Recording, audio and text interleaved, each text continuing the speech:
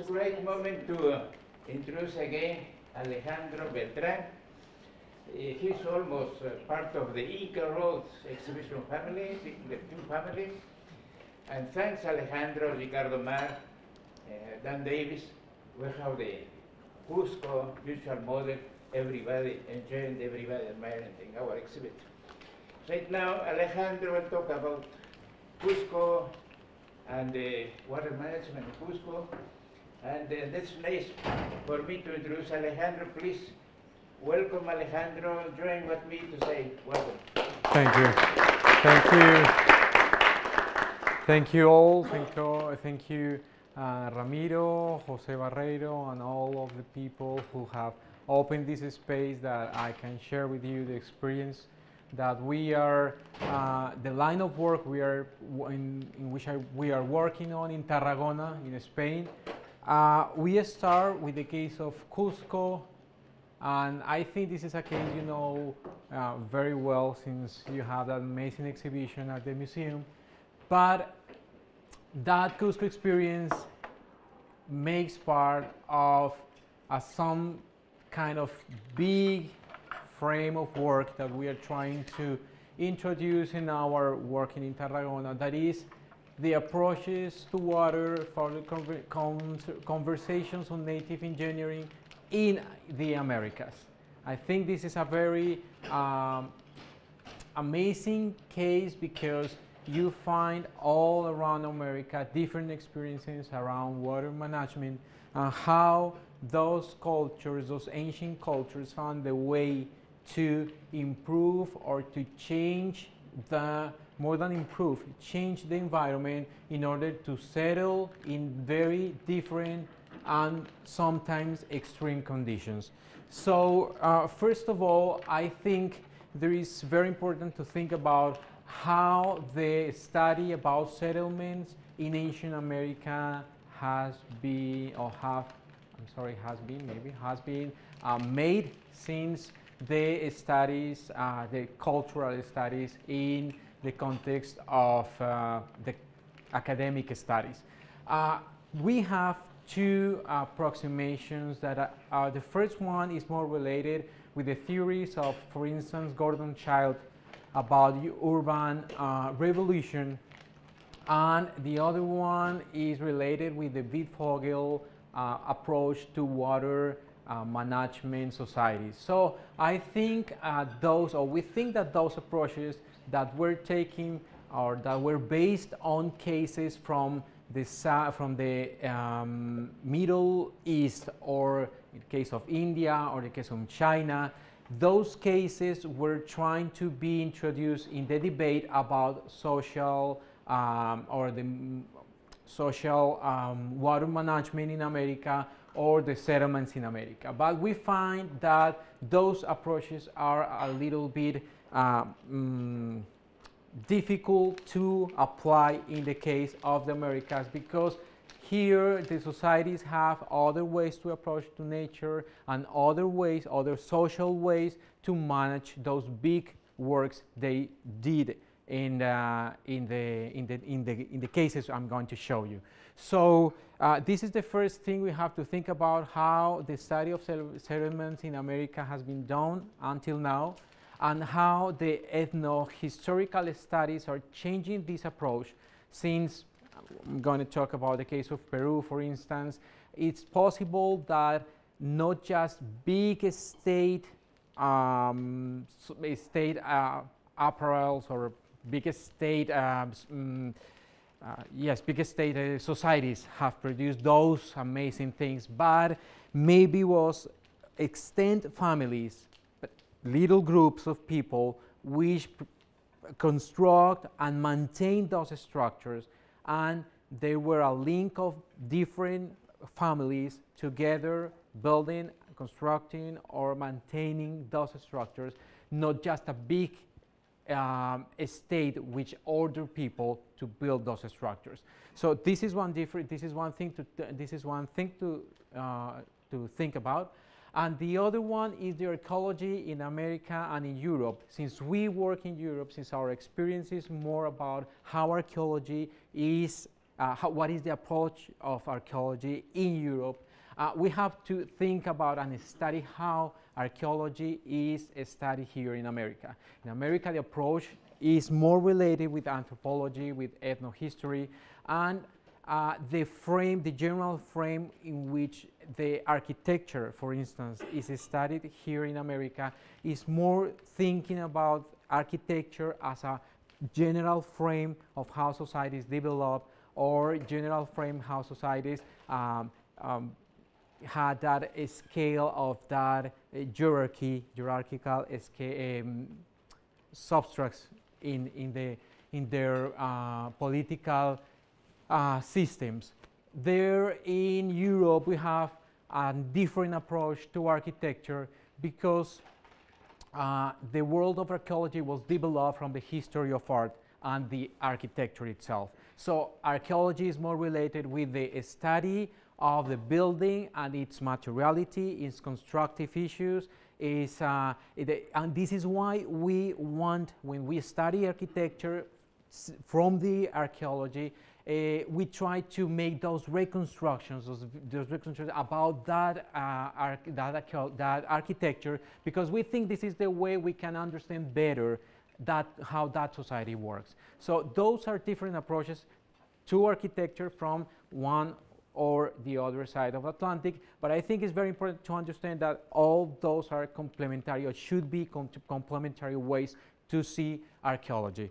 And the third thing is the today situation. Now that I have the chance to talk to people to other places uh, here in DC, maybe other places here in the United States, uh, this is something that we have to think about because that technology, not just the communication technology, but the way we approach to different um, aspects of architecture in the case of archaeology is going to help us to develop new instruments to understand how architecture or how archaeology, in the case of architecture, is going to help us to understand better the societies.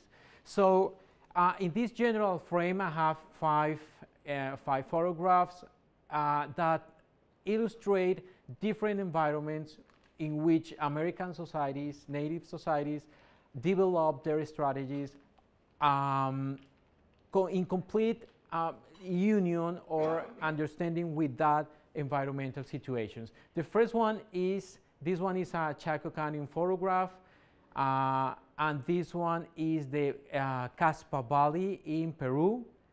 And this one is the first experience I'm going to talk about, that is the, the experience of how people in the deserts or the semi-desertic areas develop strategies to manage water. The second one is, this is just an example, this is the case of the uh, the, uh, the flood plains in Senu, in the Senu culture, in the coast, in the Caribbean coast, Colombian Caribbean coast. And the third is this one that is the context of the mountains of South America. This is the Yuna, this is in the Sierra Nevada de Santa Marta by the Caribbean Sea. And this is Pisac in the Sacred Valley in Cusco region. So here we have this map and we show you, we mark, I think we're trying to show just some experiences. I think the, the most, the, the well-known experiences. That first of all is this experience in the southwest of the United States and the northwest and the northwest of Mexico. Uh, the second is the Valley of Mexico, where Tenochtitlan was settled, now Mexico City. The Maya experience around water two. The Senu Valley here in that place in the Colombian Caribbean coast the, the fifth is the Barinas Valley, the, the floodplains in the, in the plains of Venezuela. This one is uh, Guayas, um, Guayas Delta in the Guayas River in Ecuador. Of course, the experience in the deserts of south and of Peru and the Caribbean and the sorry the Andean experience. And this one is the Titicaca River. I haven't marked this one, but this is related to this place that is Mojos in Bolivia, that is a plain fluid too. So I'm going to talk about those examples. This is a general uh, geographical mark of where these experiences are located. I'm going to talk about uh, these, uh, ex these experiences in those three cases. First, the coastal deserts in Peru and the lands of the southwest of the, of the United States. The second is going to be the floodplains and the, la um, the lake and the lagoonal lake uh, settlements. And the third is the mountains in South America. Okay, this first one, this first one, I got those two pictures. Those, those are two different valleys that illustrate very well the situation of the uh, valleys in the coast, in the desert coast of Peru. Those are valleys which, had, uh, which have constant, constant rivers, constant flow of, of, of, of water, constant rivers, which create some kind of oasis, linear, uh, linear oasis from the mountains to the uh, Pacific Ocean. It crosses the desert and it creates this, this, uh, this um, oasis that, for instance, in this case, this is the Supe Valley where Caral is settled. So we are talking here of one strategy around water that allowed to irrigate a lot of surface for, uh, for growing crops and then create those amazing structures that were linked to the ceremonies around the agricultural cycles of uh, the, uh, around the agricultural cycles. This is other experience, the same in the south. This is the this is the this is in Peru too, but in the south, this is a Nazca culture with which developed this sort of of. Um, I think you have heard more about qanats. That is something in the, in the north of Africa, for instance, that is very well used. Those are filtering galleries. This is a scheme how our sketch and sketch how those filtering galleries work. Uh, what it happens is you have the phreatic level. This phreatic level goes from the mountains to the ocean. And what they do is on the base of the mountain, they build those channels, those uh, underground channels to, by capillarity, take the water, cap the water here, take the water, and take it to this place like uh, called Cocha, that is some kind of reservoir that should be one, uh, should be those, those, uh, those holes that allowed two people go down and take the water from, from those, from those uh, subterranean channels. So here we have this experience and up in the north of Peru, in, this, in the Lambayeque zone that is related with Moche culture, we have those amazing channels built to irrigate great zones of this, of this valley. This is a map. This is the Lambayeque, this is the Reque River, the Lambayeque River, and those are two huge channels built to take the water from the top of, from up of the river and irrigate all those zones of the desert. Uh, there are studies which said that not even today it has been recovered the amount of land the people, the ancient people in this place were allowed to make produce. Not even here that amount of land has been recovered. Not even here we can produce so much food like they did that time before. So this is amazing how they, and this is something that I want to remark in all this talk is not, is not, we are not talking about that they don't touch the natural environment. We're not talking about that they don't uh, make changes in the dynamics of the environment, but what they try as hard as, as they could was not to break with the equilibrium of that natural environment because they know that if they break with that equilibrium, it could be disaster. It could be disastrous for, for them. Uh, in this case, uh, in this specific case, they divert or they took a lot of water from the top of this river and took and create all these this system that crosses this plain in this specific case. So we are talking about huge structures which crosses the which crosses the desert and now we go up, we, go, we come here to the United States, to the Southwest, and we find that they have to, uh, to, um, to um, create strategies related with how they could uh, take advantage of the situation where they were settled. this is Chaco Canyon, this is Hovenweep, and of course Mesa Verde. This is the, this is the region where it is settled. Chaco Basin here. Uh, Hovenweep must be more or less in this place in the four corners. And uh, Mesa Verde more or less in this place. So what we have is they they have the same situ more or less the same situation like in the Andes. They have that big system of mountains from where rivers come down to the Pacific Ocean, to the Pacific Ocean, and they have those continuous stream of waters that they took advantage of that. They took the water and they use uh, they use it uh, building channels. So this is Chaco Canyon. This is the situation right now. We know well that this situation is completely different from from the moment where where where Chaco Canyon people were settled here. It was much more green than now, much more greener than now. Those are the structures in Chaco Canyon. But something that is very amazing and talks and, and tell us a lot about how they decide to uh, stay in this place is because they took profit of the waters that uh, were filtered from the top of those mesas. Those are the mesas, and down they have, you, you can see those little squares. Well, those little squares are that kind of gardens. They, they, they built that kind of grilled gardens and they took the water that was filtered from the top of the mesa, they channeled this water and then irrigate this grill using this technology. So this, that was one way they use water from the top of the mesa. Of course, they have, and this is pretty amazing too, that now in Navajo people is, uh, are using uh, similar technology, but in this case, they take water from this river and irrigate in the same way some kind of, of grill, of grill way. They, they, they um, irrigate this plain to produce, uh, to produce crops. I think in this case is maybe is corn.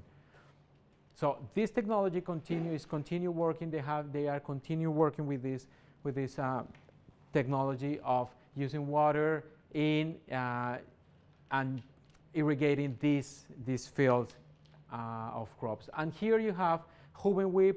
They build those structures in some cases related with the place where the water filter in the, uh, the top of the mesa goes out they use in some cases those structures to indicate where the water was or where to protect the place where the water was. And we're going to see that in a very much, in a very good extension in the case of Mesa Verde, because uh, something that we wonder is why maybe they use those huge rocks or um, shelter rocks or to build those, those structures. And it's because the water that is filtered from the top of the mesa comes out in those places down. And they, what they did was to protect those places and to build a settlement around the place where the water comes from. So this is the case. This is a cliff palace. Those are the structures. And in this case, this is why they did to uh, use water. Sorry. This is something important to say. This is not exactly related with water, but it talks about how the, the, the natural environment and the landscape was uh, key to understand the relationships between the different settlements in this geography. Here we have Aztec, here we are near from the border between New Mexico and Colorado.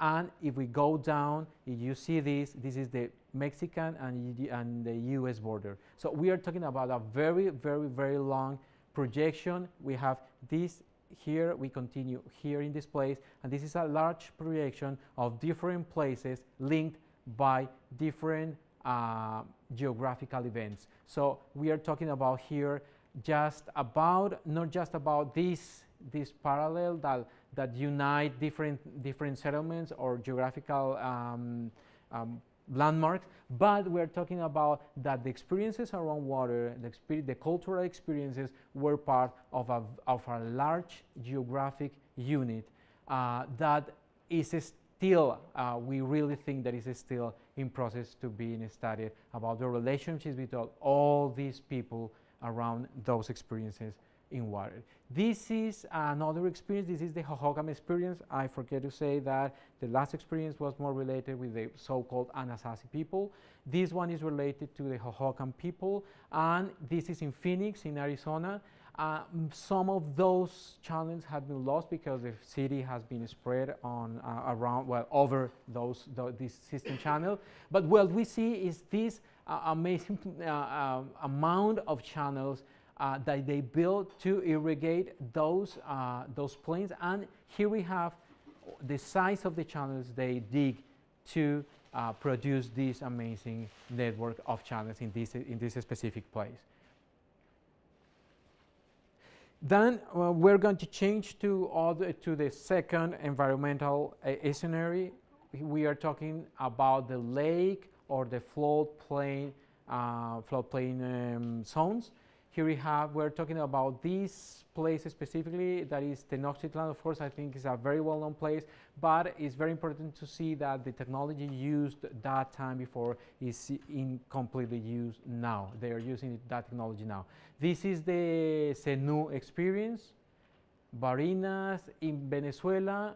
Uh, I'm going to talk this in, in Lake Titicaca and a little bit of Mojos, just some images to uh, to talk about you about this.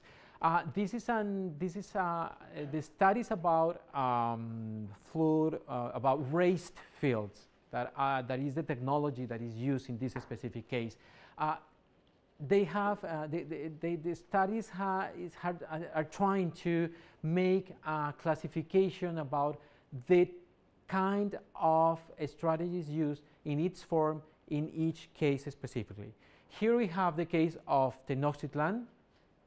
Those are, this is more or less the um, scenario that the Spanish people uh, saw when they arrived to this place.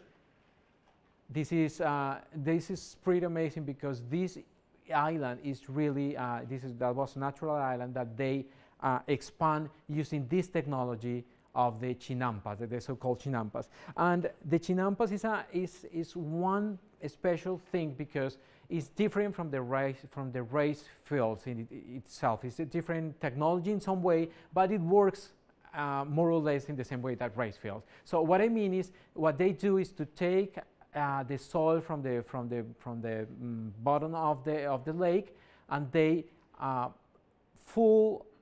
those kind of big bags surrounded by those sticks here and those trees, and they uh, do those fill uh, those field uh, raised fields in some way using this technology that now we have well this is a maya codex that use that exemplifies very well that they not just um, crop fields here but they have this uh, uh fishing um, experience around those field crops.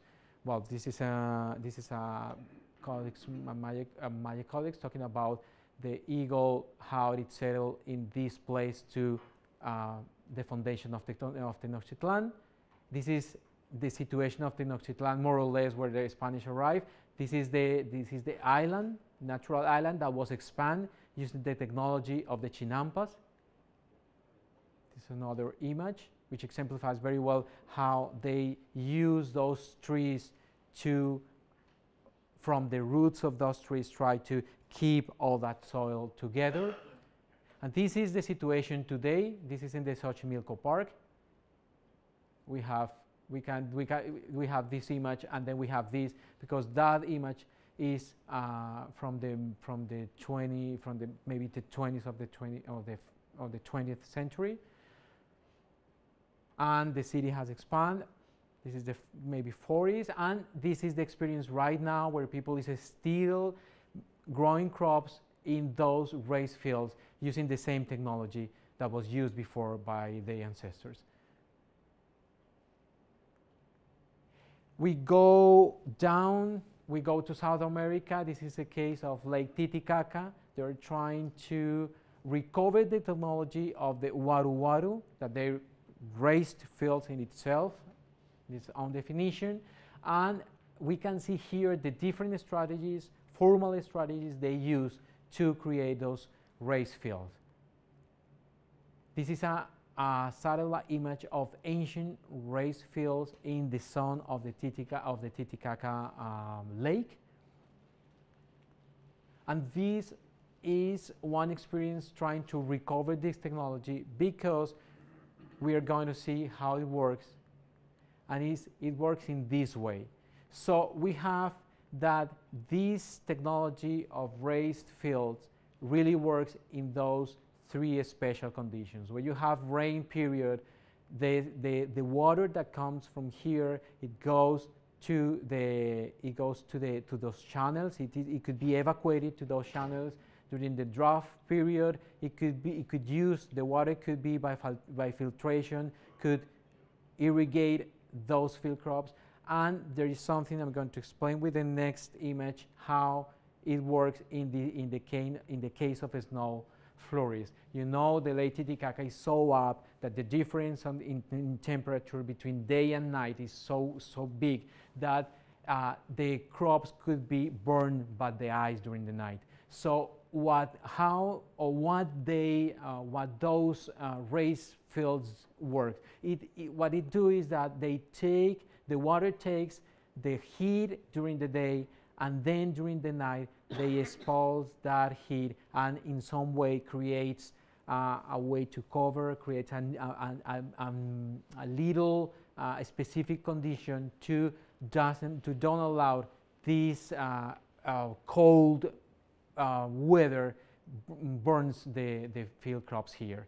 So it's a very sophisticated technology. It was just thinking about how the water works. They know well how the water works. They know well how the filtration could be in different, in different ways. And even more, they understand that if they continue, if they don't break the system equilibrium, they can keep growing not just these uh, plants, but continue with the fishing in the lake. This is a very similar condition that happened here. Here we are not in that high, in that um, different in that in that different situation of, of, of weather. This is the plains of, uh, of Colombia in the Caribbean Ocean, so we have more or less the same temperature.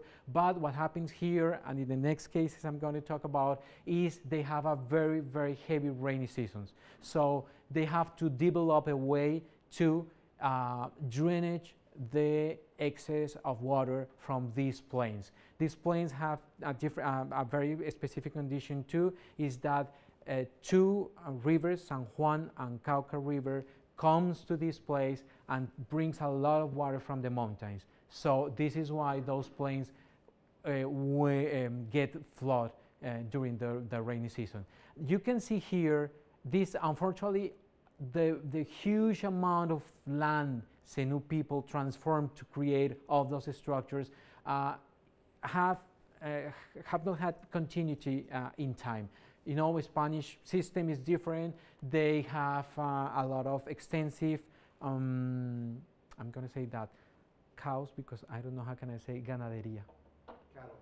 Cattle? Cattle. Okay, extensive cattle and extensive agriculture too. So these fields, those, these race fields, doesn't really uh, um, suit to the new system uh, bring by the Spanish people. So, but we have here, we have here the the the um, the, the, prints of the uh, the uh, oh God, las uh, huellas, the, the footprint? Tracks. No, the tracks. Thank you so much. The tracks of the system created by them. As far as you can see, you have here how these how those race fields conduct water to this, to this channel built to evacuate those waters. Here you have this. This is a very complex system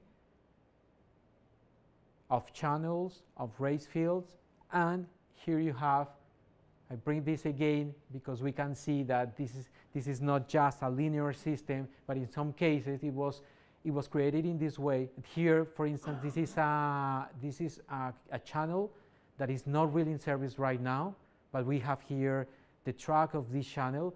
Here we have uh, some kind of little monticulus or mountain that was created to, uh, to build the settlements in this place.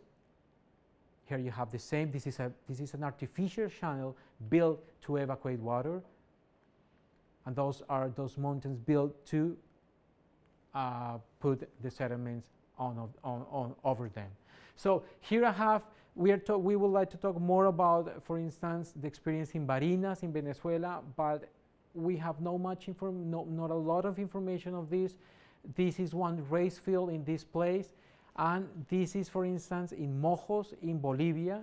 This is uh, an experience very near from the Amazoni, Amazonian, yes. This is, this is the situation of this experience. This is Mojos. And those are the, uh, are the race fields that, have, that they are trying to recover again that technology in, that, in the case of, of, of Bolivia. But those are the tracks of the ancient race fields that were found once the Amazonian was uh, deforested. So as far as we can see, the Amazonian is a relatively new system that uh, is covering different experiences of water management and race fields in the case of, uh, of um, Bolivia. This case is in the Guyanas. I'm going to show you later an image how or why people think or, or, researchers think that this was the way that people settled here. Race fields too, where they have they, they make they raise they, their crops, and this is the platform that they found in this in this um, research that allows them to propose the those images. And this is I think for my for my um, from people from Colombia and from Bogota, and when I show them those images, they don't believe that that could be there because unfortunately, this is the Sabana de Bogota. This is the place where Bogota was was settled, and now it's absolutely covered. Those are the race fields built by the Muisca people.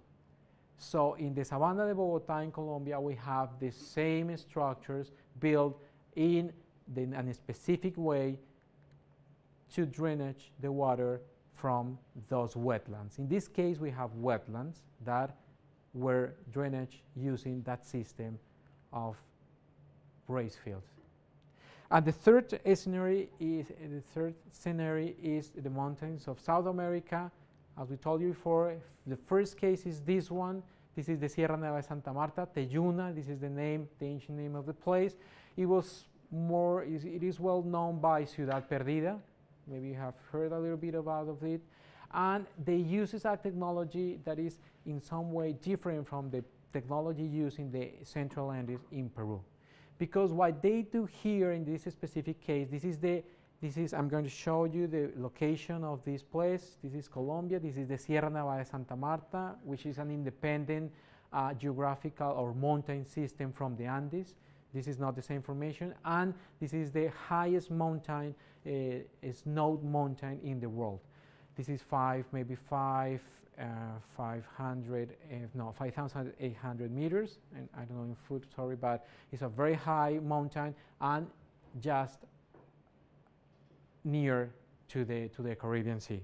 So that's, sorry, this is the location of Teyuna or Ciudad Perdida. This is the location of Pueblito, Chairama. This is another example I'm going to show you because all these coasts were full of settlements from Tairona people. This is the settlement of Teyuna. This is the uh, Eje Central or the central sector, the images I showed you before. And what they do here is a very, uh, is a very interesting uh, solution they use because in this case what they need was to evacuate water.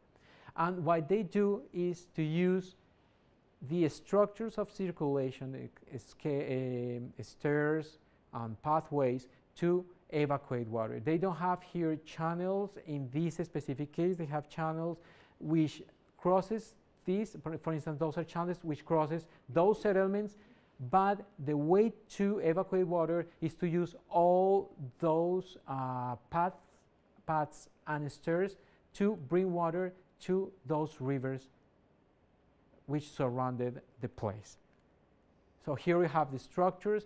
the structures are the construction, the construction and the technological uh, um, issues are different from the from the things uh, the people uh, did in Peru. Because, for instance, in this case, they used those stones here to protect, in some way, this uh, terrace, this wall of the terrace, uh, from the water that comes from this place. Because they create uh, some kind of isolation. Water falls and not comes straight to this part of the wall.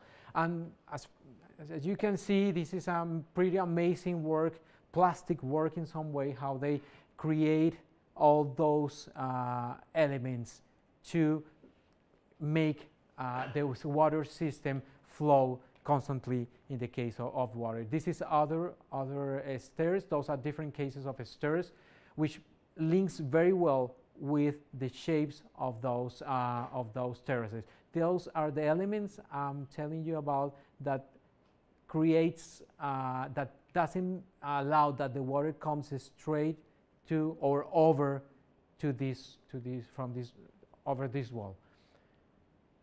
Those are the structures. This is other case, this is uh, Pueblito, that they use the same technology. This is the, this is the town uh, that I show you that is by the coast. And here we have the case, the specific case of Cusco, because as far as you can see at the exhibition, the great transformation that Incas did in the valley was the way how they redesigned the complete environment in the case of, of, the, of the Cusco Valley. This is the Sacred Valley. Uh, this is the Urubamba River that was channeled by Inca people. Those are the amazing terraces built by them. I use those photographs to illustrate that they really changed the, the, the, the, the form, they really transformed the environment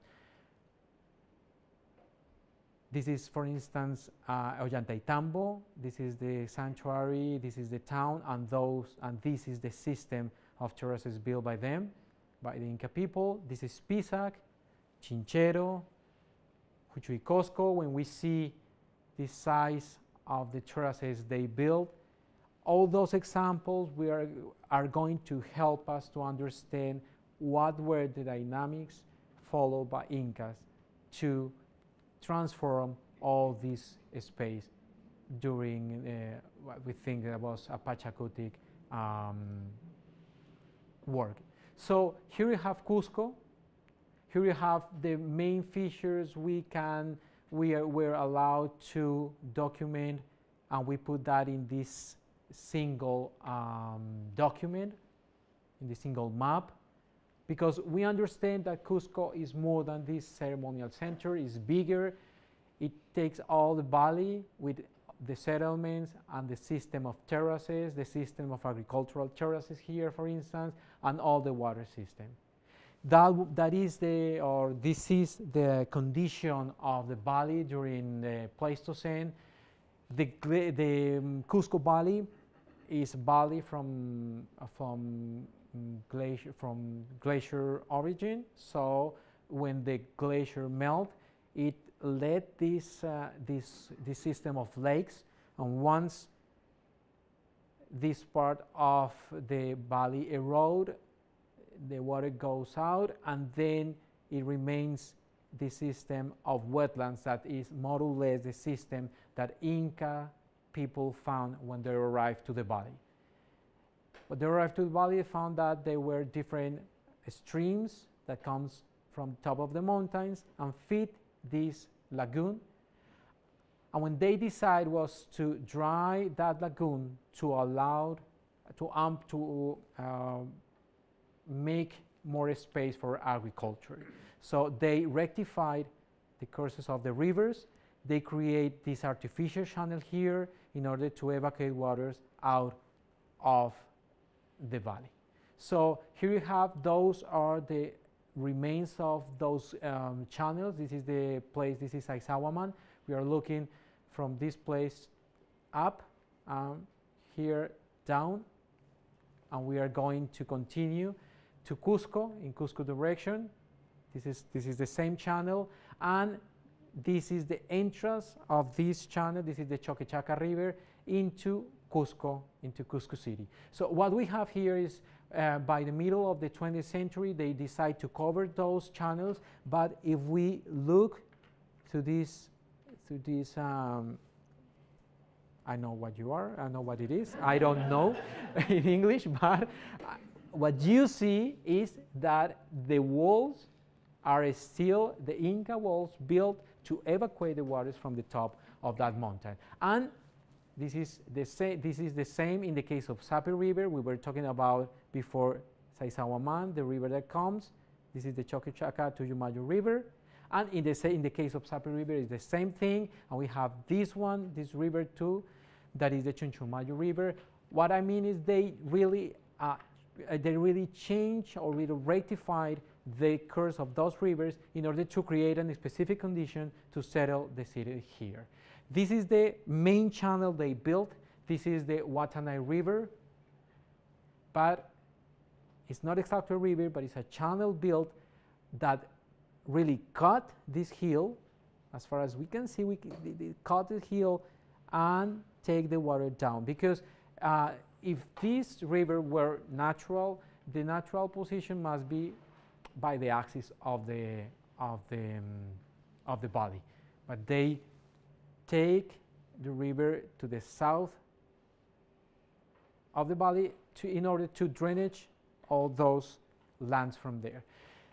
Uh, I got this uh, this image because when we think about water in the in the case of Cusco, I think uh, that is something that could be related with any other case in any uh, other circumstances we have talked about. And what I mean is they don't uh, change the environment without having in mind that they have to sacralize. I'm so sorry, I didn't know. Okay. To sacralize those interventions in the landscape. Is that, for instance, in the case of Cusco, we are talking about two topographical um, unities. This one is related with Sacsayhuaman. So this is the continuation of this hill until this place. And the other one is this one that is more flat. So what they do is, this is Hatun Rumiyoc, uh, that is, sorry, this is Hatun Rumiyoc, this one here. And we are talking about is they really do something special and it was to through these those those are the walls these walls here and what they do was to use those huge rocks here to sacralize the intervention in this specific place of Cusco. And even more, they have here some springs they have to sacralize too, and they have that complete system of rocks and springs which were covered by that amazing wall I showed you before that justifies this platform here that is the Hatun Rumiyoc, the Gran Roca, the big rock platform here. So if we go out the ceremonial center, we find that the experiences around the modeling of the land and the channeling of water still continues. This is the case of San Blas. They have to remodel all the topography in this place. Those are the remains of the, of the, um, of the paths we found now. Those are the agricultural terraces that now are covered by, uh, by constructions. And here we have something very good and very, very, very amazing too that they have this system. This is the Antisuyu um, road, and it links several special landmarks in the geography, in the sacred geography of Cusco. This is a Panteana Huaca. This is this path that takes you to this system that is Pachatosa, this Pachatosa Huaca. And if we continue this system linked this, uh, this, uh, this Huaca system, this sacralization of, um, of water, this is, for instance, the situation right now. This is why we, have, we were very lucky to find those pictures from the 1956 flight that show us the situation before the expansion of the city that allowed us to identify terraces, water channels, and the system of uh, the, those rocks sacralized in order to make possible use this land for agriculture or for, for settlements. This is this waka, this is Wayraponko waka that is still in use. People keep continue uh, bringing uh, uh, keep bringing uh, offers, coca offers and different things to this place. And the drainage of the wetland and the crop fields around Cusco.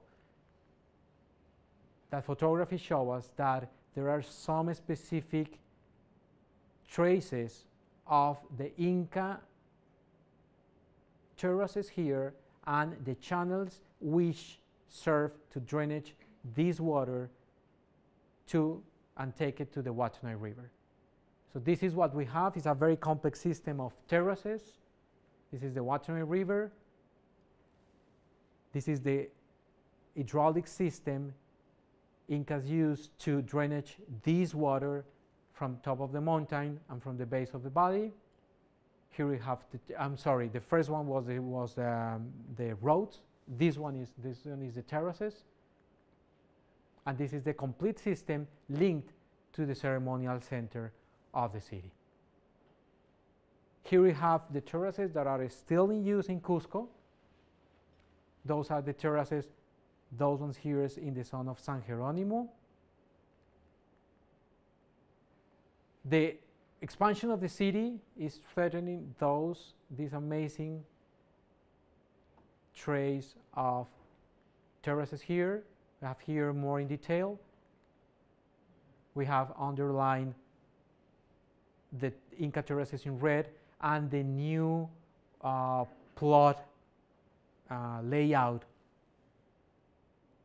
from colonial or and Republican, Republican times. Here you have the remains of those of those uh, terraces that are still in use. This is, for instance, an Inca road that crosses that system, and the system of channels that is still working and um, irrigating those fields. And it's pretty amazing to see that they intentionally, for instance, block this channel because there is a special way and a special time of the day they are allowed to uh, use the water. So some some time, some in some moment of the day the water should or have to go down and in other moment they change and they can divert this water in this direction to irrigate other crop fields. So those are the remains of this amazing system. This is, for instance, this is an Inca channel that is being rebuilt, of course, but it's an Inca channel. And here you have the whole system with all the complexity that uh, shows this image. Finally, the, what we have is that for the construction of the Inca city that we more or less now can identify here, Inca people, first of all, change or transform the way how water crosses this, this, uh, this, this surface. So, and then after these changes, they have to create a very specific system of terraces which contains and reshape the form of the Sacsayhuaman Hill, for instance, with the sacralization of those specific, specific features in the landscape, keeping the traces of ancient uh, features of this place before. This is, for instance, a Killke wall that is in this place. And Inca people continue, they keep this way, this road that is the Antisuyu road. They, of course, they have to create this special place for the ceremonial uh, explanade or Coipata Plaza and in the redesign they linked different features before the Inca come here. This is, for instance, the uh, Temple of the Sun, the Coricancha, and this is Sacsayhuaman that they linked to this path now called uh, Pumacurco. That is something like the um, spine of the puma, and this is other way, here we have, for instance, that amazing wall of Loreto Street. Here we have the complete design, how they redesign, re reshape the whole topography. And something that we think that is a very complete and, and, and complex um, transformation of the city that must be think in like a unit. Something that we have to continue with those traces in, in white. There are other system of terraces and settlements that we have to continue. Uh, we are trying to reconstruct to, in order to give a complete image of how this valley looks uh, during Inca time. So this is all. Thank you so much. This is the publication we have about ur the urbanismo of Inca Cusco It's in Spanish, and this is the Setopan Seminario de Topografía Antigua. This is our research group and the University of Tarragona. Here you have all the information. You can download the book. Uh, you have access of all that information. So thank you so much for, for your attention. And I have, I think I have the video of the reconstruction of Cusco. Um, just to maybe a minute or something like that, just to show you the model and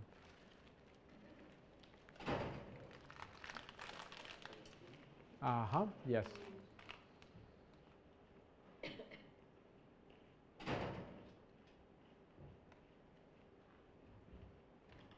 Yes, that's what, that what I want to show in this, uh, in this video is to, uh, that the reconstruction of a city of Cusco is not an easy task, task because first of all, we don't really have much uh, uh, to, to say how every complex of this city, how it was before. Uh, but fortunately, and those images I have before about different system of terraces in Chinchero, in Pisac, uh, Huchuy Qosqo, help us to understand the topography of the place and some places like Machu Picchu or Raqchi or, or the same Pisac help us to understand or to propose uh, an image of the uh, architecture in this, in this specific case. We have, we are lucky in some way that Incas used um, a model that is, was the cancha, which allowed us to propose that some kind, uh, some of those um, complexes could be in the form of those canchas.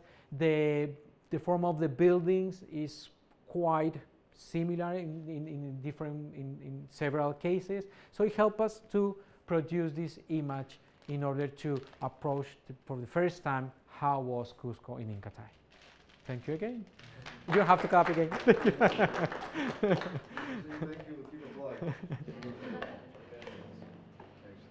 Thank you so much. Thank you.